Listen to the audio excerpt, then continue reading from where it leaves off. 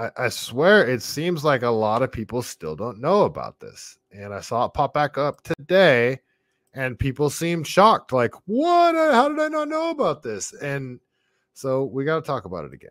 Let's um let's talk about the CCC the CCP biolab found over in Reedley, California, shall we? So Wesley Hunt put this out today.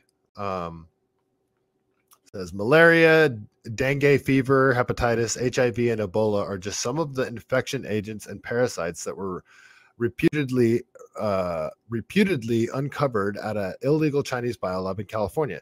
Diseases capable of infecting or killing untold Americans were discovered by officials and reported to be and reported to the feds. However, no one has been criminally charged for the shocking discoveries inside. The question is why, and why is nobody talking about this either? So this is I'm going to keep talking about it because it just seems it'll get brought up, a little bit of discussion will be had, and then it just goes away. I this should be like one of the biggest stories of last year. Everyone on earth should know about this, but lots of people still don't know about it. So I'm gonna do a decent little segment on it right now a secret underground lab, a biolab in California. It has Chinese ties, and this is where investigators found dangerous pathogens, vials labeled Ebola, and hundreds of lab mice. The EPA just spent several days packing it up, getting it ready for incineration. All taken from an unlicensed, unregulated underground lab operated by an international fugitive previously convicted of stealing millions in U.S. intellectual property to, quote, defeat the American aggressor. Here's a picture of that man, Jesse Zhu. He used an alias to cross the border. Yeah, so he was in Canada, and I think he was, they were trying, I think he was escaping prosecution. I think he was like on the run from authorities in Canada. Set up this lab with $2 million from accounts investigators linked to the Chinese Communist Party. Malaria, dengue fever, tuberculosis, hepatitis, even those packets labeled Ebola. What was that stuff? All capable of killing you, doing inside this abandoned warehouse in Central California. Inside, a staff of Chinese nationals, hundreds of mice, blood, tissue, thousands of vials of deadly biological agents, including those labeled Ebola. Now, you'd think alarm bells will be going off in D.C. Chinese lab, U.S. soil, a threat of a bio attack. And yet, Zhu was only charged with selling fake COVID tests. And when the city manager called the CDC, they hung up on her repeatedly in mid sentence. All right. So it gets worse. So they they found the only reason they found this lab. Keep in mind the, the only reason they found this damn lab is because a building inspector saw a garden hose poking out of a hole in the wall, like a hole, like a three quarter inch hole that was drilled in the wall, and there's this garden hose poking out. It didn't make any sense. So she investigates it and finds this lab. That's the only reason they found this undercover, like uh, regular commercial building. You know, there's no signs of anything nefarious going on. How many more of these labs are there? So there's there's that. Now when she reports it to people, it like nobody wanted to touch this thing. It was like everybody was kind of just like distancing themselves from it and only doing the bare minimum of what they had to do. And it seemed like everybody just wanted this to go away. Um, this is a bit of a longer clip, but I want to play the whole thing because this is this is an interview with the new CDC director, not Rochelle Walensky, but yeah, this chick. So, and she gets grilled pretty hard here, and she's very condescending in this. It's very nonchalant. Like this isn't a huge, gigantic deal. It's the stuff that was found at this lab should be extremely alarming to everyone. And everybody's trying to sweep this under the rug. And the CDC director is acting very nonchalant, like this wasn't a big deal at all. It's this whole thing is highly, highly suspicious. Chairman Dr. Cohen, I appreciate you being here today. Uh, in addition to being a member of the Energy Commerce Committee, I serve on the Select Committee on China. Uh, the Select Committee recently published a bombshell bipartisan report. Uh, you're aware of it. You've said on the illegal biolab that was discovered in Reedley, California. This warehouse was located in the center of a small town just across the street from an elementary school and a block down from the city hall. Uh, the clandestine, they're calling it a biolab, was a disaster waiting to happen. The CDC's response, or rather the lack of response, clearly endangered millions of Americans. Uh, and there were a couple of things that really stood out to me. The first is that the CDC Select Agent Program completely failed the people of Reedley, California. The CDC literally refused. They did not respond when they were requested. They responded months later, and only when uh, Congressman Costa made that request uh, to uh, come to the town and, and assess the situation. This, the discovery, I remind you, was made by a housing code inspector who was tracing a garden hose that was, went in a window. That's how this was found. It took a phone call from Costa to get there finally. Once the CDC arrived, months after the first request, the investigation he conducted was completely unprofessional and inadequate. And I say that as a professional in the field. The CDC didn't test one vial, even the ones that were labeled tuberculosis, SARS CoV 2, and Ebola. An entire refrigerator listed, labeled Ebola. That is a. Uh, so you, might think, like, well, why would they be so nonchalant and not do a lot of testing and not look very hard when the CDC came there? And why would it take them three months to get there? Well, if you don't look that hard, you don't find certain things, and then you can sort of have like plausible deniability, like oopsie daisies. Well, we never saw that. And you can play dumb. Wait till later in this video. Select federal agent, by the way, and HIV was there. Uh, this is uh, this facility is completely unlicensed warehouse, no licensing whatsoever. Over 20 potential pathogens, a thousand transgenic mice humanized uh, there were zero isolation facilities that would be necessary to either legally or safely handle these agents. And perhaps most egregious and simple minded, the agency didn't even bother to translate the Chinese labels. There were some vials that had only Chinese labels, didn't even ask for a translation on this. Amazing. Uh, when local officials started to dispose of these materials, they asked CDC what to do with the Ebola again, a federal select agent, and a CDC branch chief. I have these emails I'd like to submit for uh, the record. Without objection? Thank you. CDC branch chief belatedly responded saying, ah, we don't see an urgent need to test these samples at the moment. Most of the material we identified was not considered a serious threat to public health. Ebola. Ebola. HIV, SARS CoV 2, hepatitis, malaria, and Ebola not considered a serious threat to public health. But, uh, you know, um, the conclusion made by the experts at CDC that a refrigerator labeled Ebola was unlikely to contain Ebola. And you look at the totality of this situation, it, reads like a nightmare, a horror story. In what world is this okay?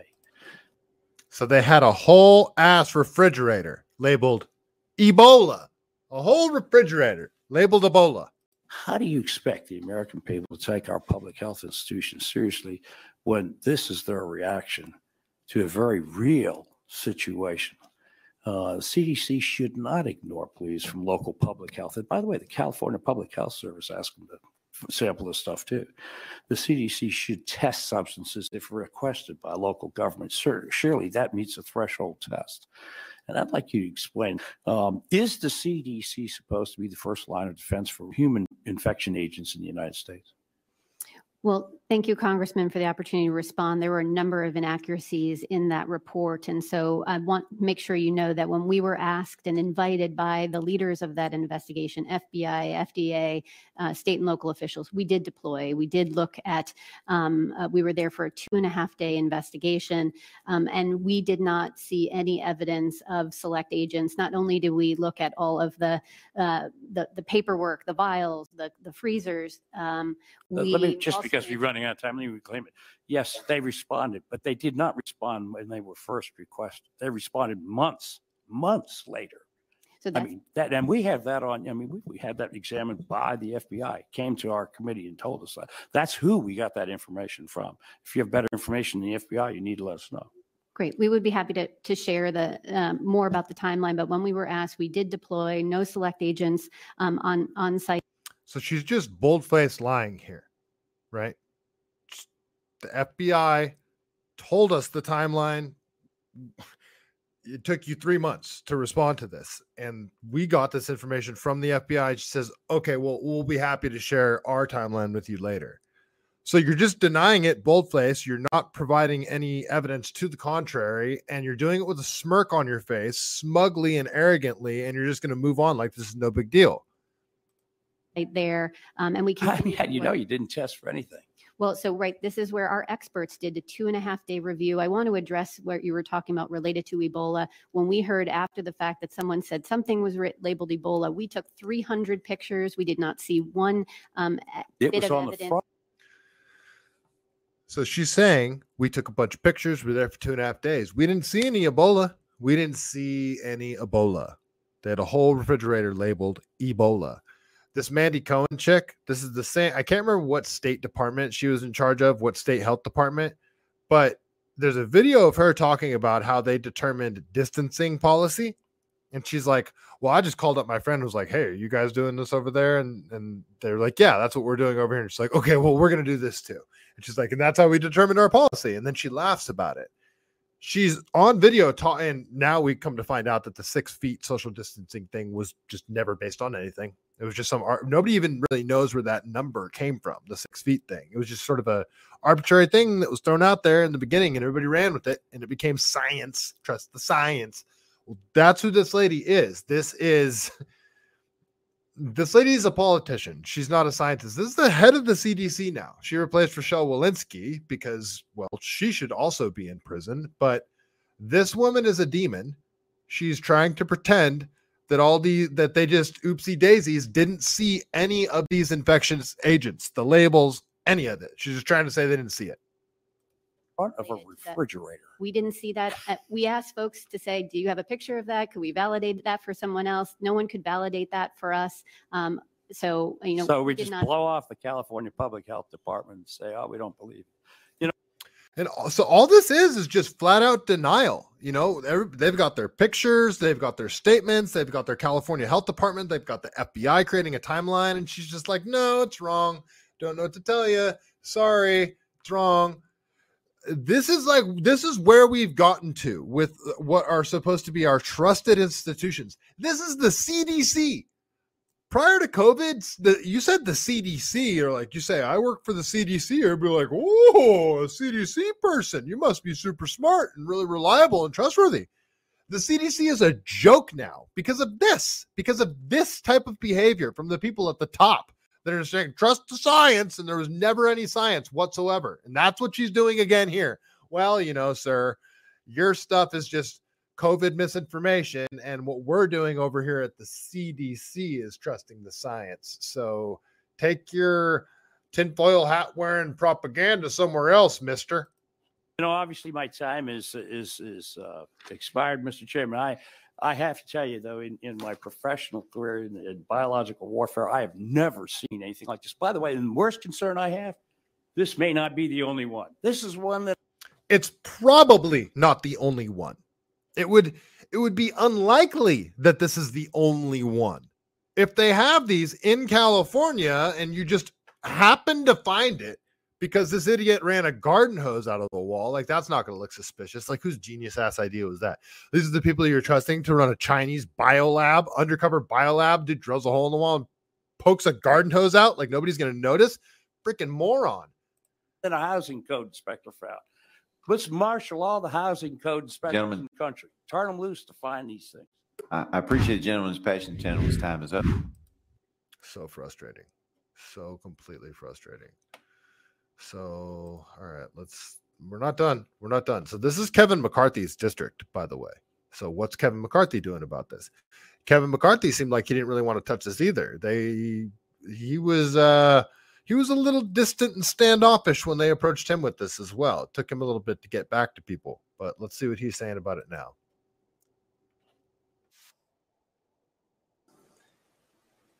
The owner of the lab, Startup. first and foremost, um, a few hard truths.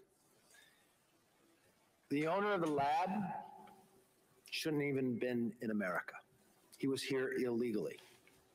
He had a judgment, as you watched in this report, from sp- stealing IP from Canada and America for more than $330 million, living under a false name, and illegally providing this lab. But something that the ranking member brought up, unbeknownst to many of us, and we are lawmakers, how easy it is to get such serious pathogens to be able to purchase them online. And what we have found through this investigation, the millions of dollars running from China to this facility. First and foremost, Well, what's really going to bake your biscuit is when you see where some other money was going to this facility, where the where some other money was coming from. So Kevin Kevin Kiley put out a post earlier regarding the same thing, and he's been harping on this from the beginning. I should say. I'm not too stoked about Kevin Car- Kiley's voting record, but he has been talking about this a lot. So, the international fugitive behind the secret Chinese biolab found in California, Jesse Zhu, has been arrested and charged in federal court. He received large unexplained payments from China while operating the lab. Many questions remain, which Congress which Congress must continue to investigate. Why did the CDC ignore local officials' reports about the lab for months? we just talked about this. Why didn't they test any samples from the thousands of vials with unclear or coded labels? So there's a bunch of labels that were in the Chinese language or they were in like not a language at all, coded. Why didn't they test those vials? How did they miss a freezer labeled Ebola, an entire freezer labeled Ebola? How did this lab escape detection? How many more such operations could there be in California and across the country? What was the lab's true purpose? Selling medical test kits didn't require transgenic mice and dangerous pathogens, since Zhu's company was simply reselling counterfeits from China. So remember, that's what they charged him with. That's all this dude got charged with, apparently, is selling COVID test kits. That's what this dude is charged with. Like, okay, what about the Ebola and the mice? Yeah, it, there's a cover up going on here, you guys. This there's there this this can't be anything but a cover up. Like everybody wants this to go away. I'm telling you, it's that freaking garden hose. Uh, that all it was is the garden hose. That's the only reason they found out about this. This genius decided, well, for whatever it was, ventilation of something, decided let's just drill a three quarter inch hole in the wall and poke a garden hose out. Let's make it green too, so it's extra obvious. Like they could have done so much stuff. They could have screwed a junction box in. They could have made it look like something else. It's lazy. That's hilarious. This guy, this guy seems super lazy too. So let's look at some of the pictures. Like all this dude got charged with was selling COVID test kits. This is insane. So here's some pictures that Kevin McCarthy's sharing here. So yeah, you know, you just got all these bottles with weird labels on them. Like, I mean, I'm just some dumb podcaster, right? If if all of a sudden I was put in charge at the CDC, I would be like, okay, we don't know what this label means. Okay, let's do we have the means to test and find out what's in this bottle? Oh, we do. Okay, let's just do that. Do can we test this bottle too? Oh, okay. Well, you know what? There's not that many bottles. Let's just test all the bottles. Why didn't you test the bottles, CDC? What is this? Uh, wait a minute. Does this say MDMA? Oh, That I'm sorry. This looks like it says MDMA. That's that's Molly. That's that's ecstasy, guys. That's a drug. Um, I haven't even heard anything any any talk about drugs. So uh, okay, well, okay, that looks like it says MDMA right there. So I'm just okay. Okie dokie. This is just the whole thing just keeps getting crazier and crazier the more you look into it. And it does get a little bit crazier here. Now, this is reported from Max Bonilla. He's a young independent journalist, very young, like early 20s. And he stumbled across something. I don't see anybody else talking about this. I don't see Kevin McCarthy talking about this. I don't see Kevin Kiley talking about this or that congressman or anybody else. So I'm he stumbled across a document that shows something interesting. So let's just he I'm hoping he didn't get too big for his britches here, but he's making a very serious allegation. So Max says Gavin Newsom gave $360,000 to the illegal Reedley Chinese lab four years ago. Why wasn't this mentioned in the debate? Gavin Newsom literally put our national security at risk by funding the creation of the new possible uh, uh, creation of new possible bioweapons.